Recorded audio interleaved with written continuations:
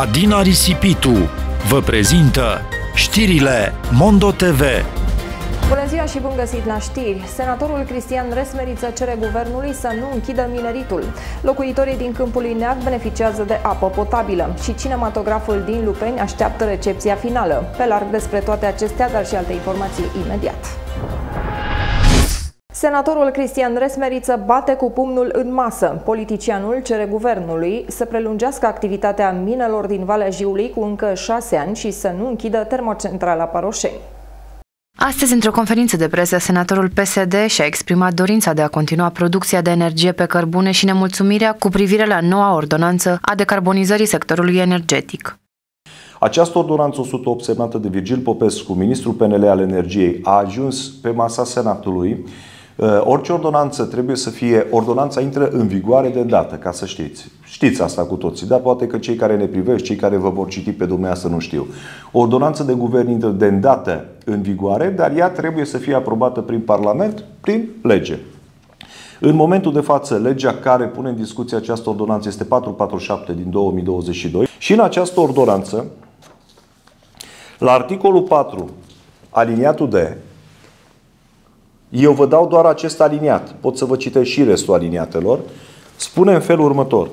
La complex energetic Hunedoara Cet Paroșeni, închidere la 31 decembrie 2030. Deci prin această ordonanță, domnul ministru Virgil Popescu dorește să închidă termocentrala de la Paroșeni în 31 decembrie 2030, cel târziu. Pentru că vă dați seama, nu pot să o închizi, nu-i ca mașina, ca e opri motorul. În momentul în care această lege de aprobare a ordonanței a ajuns în Comisia de Energie săptămâna trecută. Eu am sesizat acest lucru și am făcut în așa fel încât uh, raportul, acolo dăm raport, este foarte important raportul, a fost amânat pentru săptămâna aceasta. În această săptămână, eu am depus pe această chestiune, deci pe chestiunea închiderii termocentralei de la Paroșeni, un amendament. Vi-l prezint imediat. Împreună cu câțiva colegi senatori. Ă, doar unii dintre ei au semnat, nu pentru că n-ar fi vrut și restul, dar fiind foarte pe viteză, am discutat-o grupul parlamentar și Partidul Social Democrat a decis să susțină amendamentul meu și anume termocentrală de la Paroșeni să fie scoasă din această ordonanță de decarbonare. Știu că este o chestiune destul de grea pentru că este o chestiune care vine de pe comunitatea europeană. Amendamentul meu mai este semnat de domnul Oprea Radu, care este liderul de grup PSD de la Senat, de Turoș Lorand, liderul de grup de la UDMR de la Senat, de domnul Zanfir Daniel, care este președintele Comisiei Economice din Senat, și de domnul Antal Lorand, care este președintele Comisiei de Energie din Senat. Senatorul a susținut în cadrul conferinței că este inadmisibil ca termocentrala Paroșeni să fie închisă, deoarece este cea mai performantă uzină din România. În momentul de față, să pui cet paroșeni la închidere, doar, nu știu, ca să bifești ceva, cred că e o mare greșeală. Și să știți că am explicat colegilor mei din grupul senatorial PSD, prima dată acolo și după aceea, sigur, și cu conducerea partidului, nu vă ascund, am discutat și cu ei. Le-am explicat că Paroșeniu în momentul de față este cea mai performantă uzină electrică din România. Avem toate condiționalitățile de mediu îndeplinite fără niciun fel de problemă.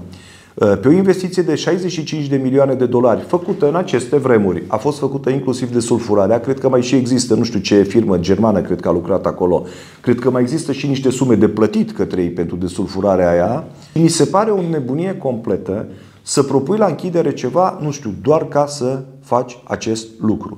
Mai mult, senatorul vrea să continue extracția huilei din toate minele din Valea Jiului.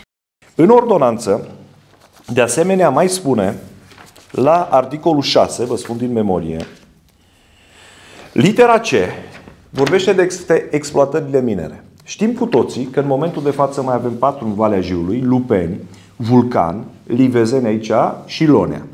Ce spune ordonanța? Spune așa, că la complex energetic Hunedoara, Lupeni și Lonea vom avea lucrări de punere în siguranță, închidere și ecologizare până în 31 decembrie 2026. Deci 2026.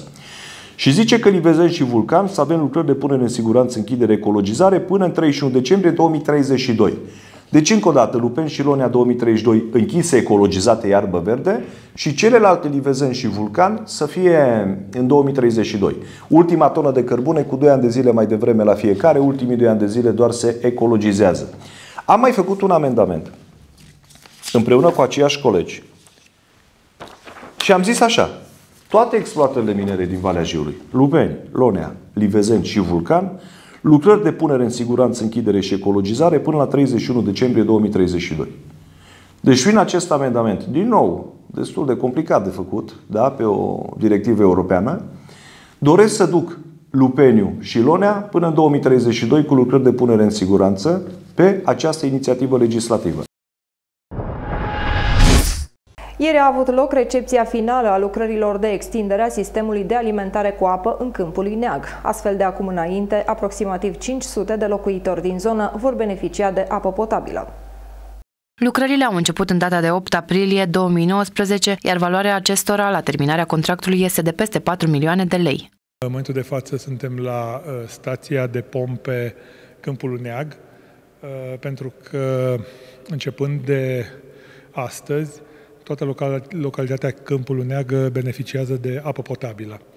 Uh, de ce e importantă stația de pompe și de ce este importantă această lucrare care a fost finanțată pe programul operațional Infrastructură Mare, este importantă pentru faptul că în momentul de față toată localitatea Câmpul Neag nu, nu are acces la acest serviciu de alimentare cu apă potabilă.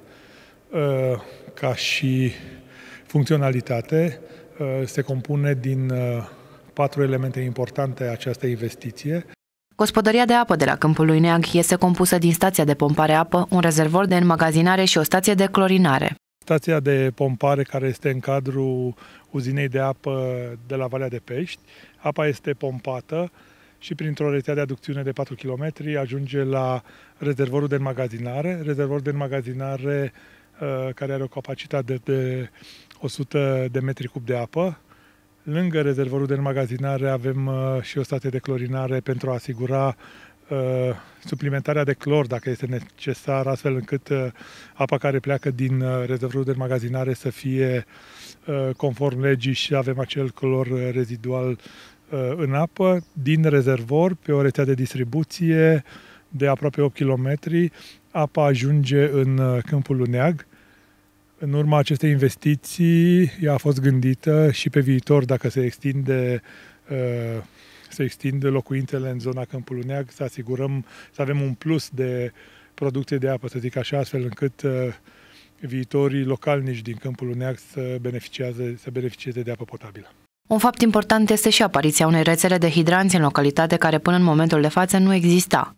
Pe lângă rețeaua de alimentare cu apă potabilă, foarte important și rețeaua de hidranți, deoarece vedem că în ultima perioadă parcă s-au înmulțit incendiile. Pe acest program a fost gândit și o rețea de hidranți care să acopere uh, principalele Uh, puncte din, uh, din uh, Câmpul Uneag.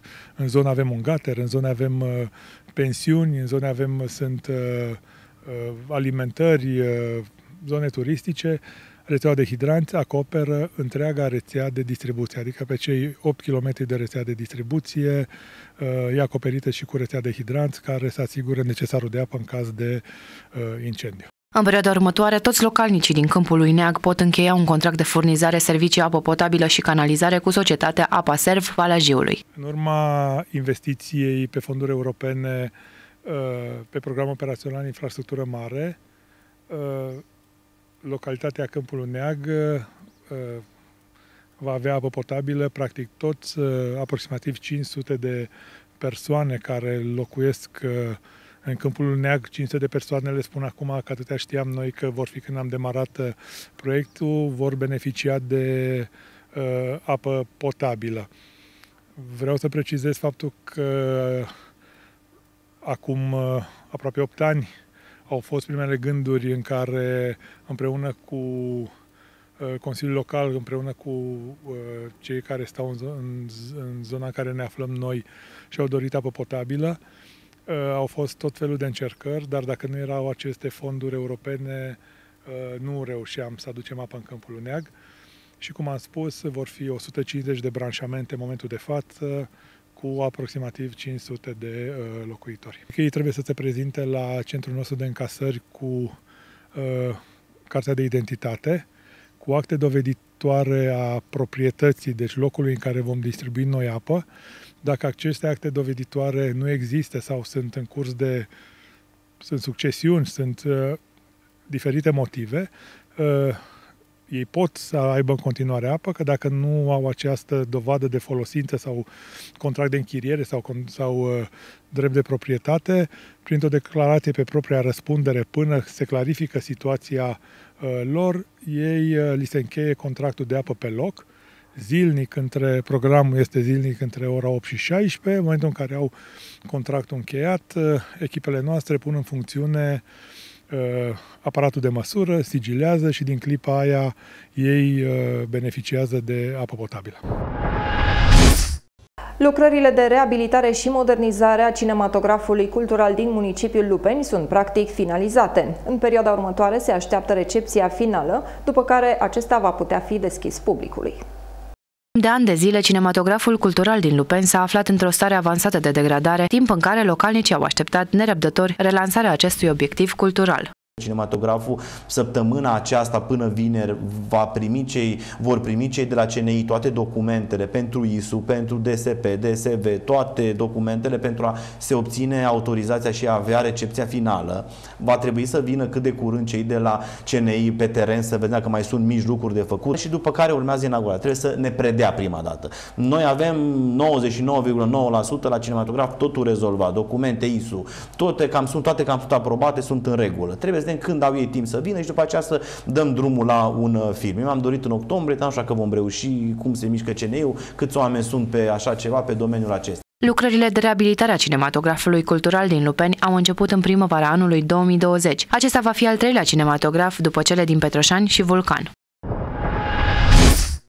Universitatea din Petroșeni reușește în fiecare an să aducă studenți internaționali. Astfel au fost deja acceptați peste 20 de studenți din Africa și Asia.